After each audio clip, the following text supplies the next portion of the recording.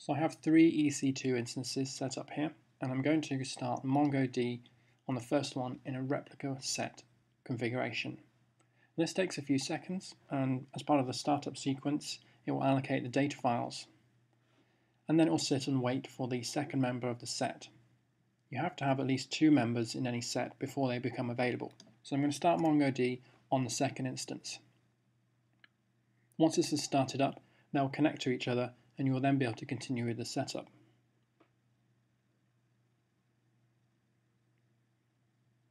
You can see when the initial config is complete because the init and listen event will appear in the console output. First we see this on the right on the first one I started and we'll see it in a few seconds on the left hand side one as well.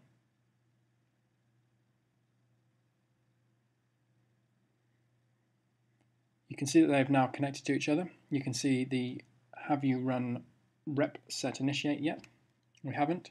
So to finish the setup of this set, we need to connect to either one of these instances using the MongoDB console. You can just execute rs.initiate and it will make a number of assumptions about the host names, but because I'm running on custom ports, I'm going to build the config object myself. I'm not going to go into detail about this because it's covered in the blog post on blog.boxedice.com. And now I now initiate the replica set and in just a few seconds you'll see that these two uh, instances will negotiate between themselves to determine which will become primary and which will become secondary. Now you can see on the right this one is now a primary. In just a few seconds it will become secondary on the left. There we go. And now we have a replica set with two members. But if we want to add another member, it's extremely easy. So I'm going to start up MongoD on the third instance. And again, it'll just take a few seconds to allocate the data files.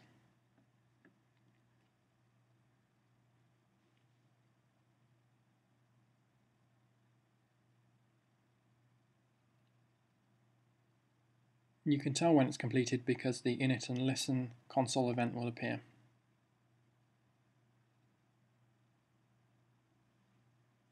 There we go. So now we can execute the rs.add method with the hostname of the third instance as the parameter. Now this third instance will find out if there's any data to do an initial sync on. As with this is completely new, we've got no data, and the initial sync has completed, and this is now secondary.